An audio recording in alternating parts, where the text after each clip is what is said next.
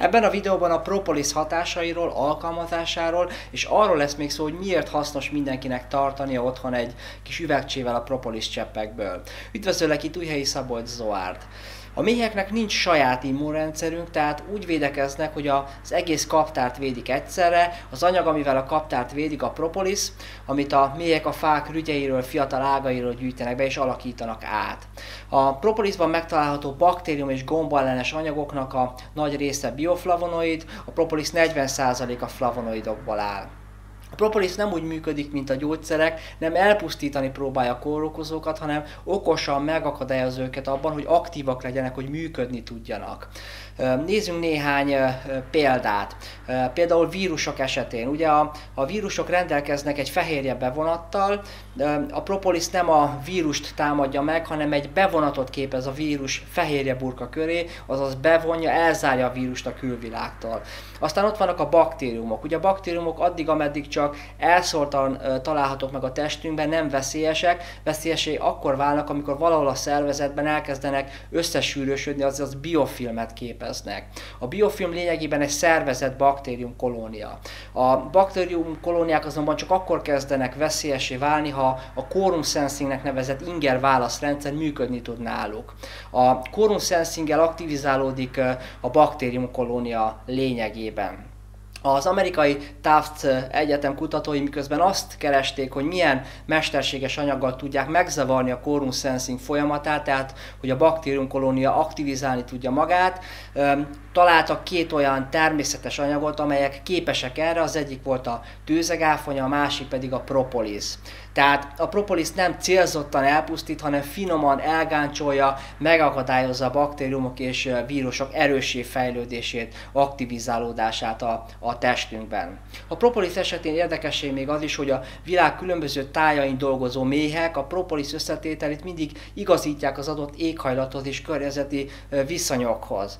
Tehát például egy nedves trópusi környezetben a méhek olyan propoliszt állítanak elő, amely az adott környezetben lévő kórokozókkal szemben védi őket. Tehát például egy olyan helyen, ahol előfordul a malária, a propolis tartalmazni fog olyan összetevőket is, amelyek védik a méhkaptárt a maláriával szemben.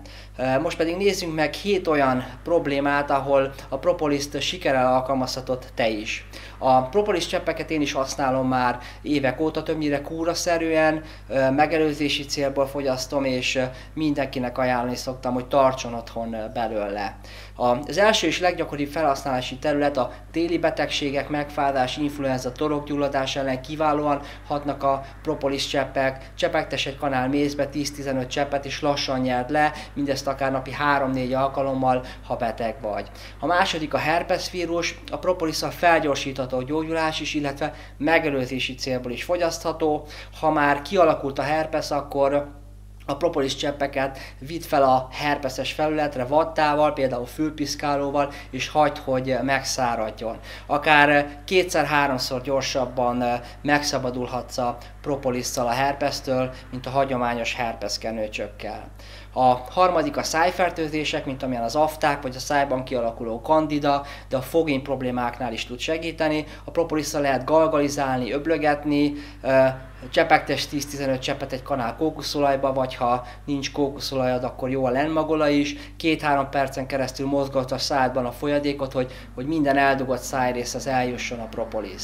A negyedik a gyomor és a bérfertőzések, ilyenkor egyszerűen el kell fogyasztani a cseppeket, tehát egy kanál vízbe, vagy mézbe, vagy valamilyen olajba elvegyítve. Súlyosabb belső fertőzések esetén lehet naponta akár 4-5 alkalommal is fogyasztani a propolis cseppeket nyomor és bélfertőzések esetén a propoliszt ideális manukamézzel együtt fogyasztani. A manukaméz egy Ausztráliában és Új-Zélandon termelt mézfajta, melynek kórokozó ellenes hatása akár 80-szor erősebb, mint a hazai mézeké. Az ötödik a bőrön kialakuló fertőzések, ilyenkor a legegyszerűbb valamilyen krémbe elkeverni a propolis cseppeket és úgy felvinni a bőrfelületre, készített saját propoliszos krémet is, például kókuszolaj, méhviasz, olívaolaj, vaj és esetleg gyógynövények kivonatából. A hatodik a cukorbetegség, több tanulmány is kimutatta, hogy a propolis gátolhatja a vércukorszintet növelő enzimeket, azaz a propolisnak van egy vércukorszint stabilizáló hatása is. Mivel utolsó az allergia, egyes kutatások során igazolták, hogy a szezonális allergia típusoknál a propolis gátolni tudja a hisztamin felszabadulását, ezzel csökkentve az allergia tüneteit.